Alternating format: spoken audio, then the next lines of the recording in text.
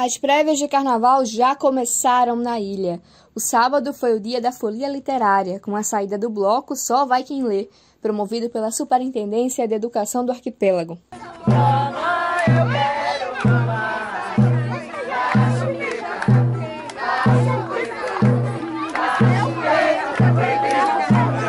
Nesse momento a gente quer festejar o carnaval, mas ligar esses festejos, essa diversão à leitura e dizer para toda a comunidade noronhense que é leitura, dizer, olha, ler é legal e ler é divertido, assim como sair para a rua e ganhar folias aí do, do, do carnaval e, e, e, é isso, é, é juntar essa questão da literatura com a festividade do carnaval para dizer que isso tudo é divertido, isso é bom. Oficinas de máscaras, histórias de carnaval e, claro, muito frevo para as crianças. Elas aproveitaram bastante o evento. Eu vim aqui curtir a folia, o carnaval, vim curtir. O que você mais está fazendo, gostando de fazer? É dançar e é isso.